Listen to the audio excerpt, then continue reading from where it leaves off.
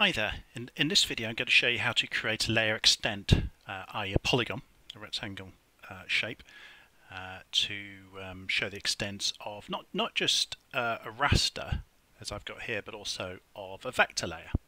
So as you can see here, I have our Orbis uh, map uh, underneath there, that's our map service that we create ourselves. And you can see I have this bit of SRTM GeoTIFF for elevation uh, in um, Austria. So what, what I want to do is create a, a, effectively a rectangle, a polygon that defines those extents for, for whatever reason, further analysis, some kind of um, metadata for coverage, etc. So but I want to draw a polygon around here. So the the tool for this is in the processing toolbox. I just typed raster up there, and one of the tools that uh, does come up is extract layer extent uh, because it works on a raster. So I've selected um, my SRTM. I could actually select the whole of our Orbis um, service. No, just basically be a global rectangle in 3857. Uh, but I'll choose this uh, SRTM.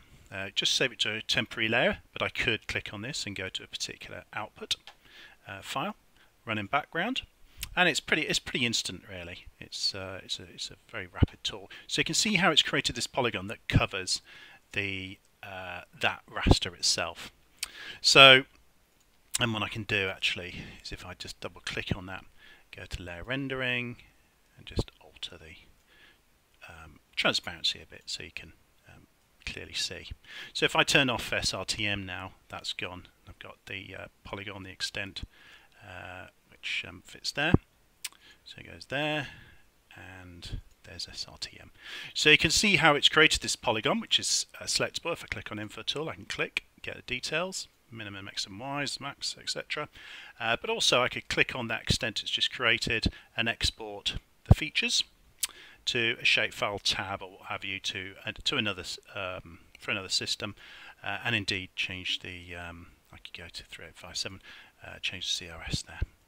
I've just zoomed in here and loaded in um, some lines, this layer from uh, some previous videos, uh, just to just to clarify how it uh, works on vectors as well. So we know it's worked on show the extent for the whole raster, uh, but what about what does it do with just these polylines? Well, just run the tool again, choose your vector layer, temporary layer, run in background, and um, I've given this very sort of red neon colour so it stand, stands out.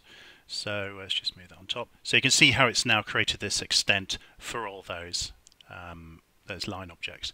Uh, there's a couple of polylines there that fit within the box. So it works on vector as well as raster. Uh, thank you. Hope that's useful.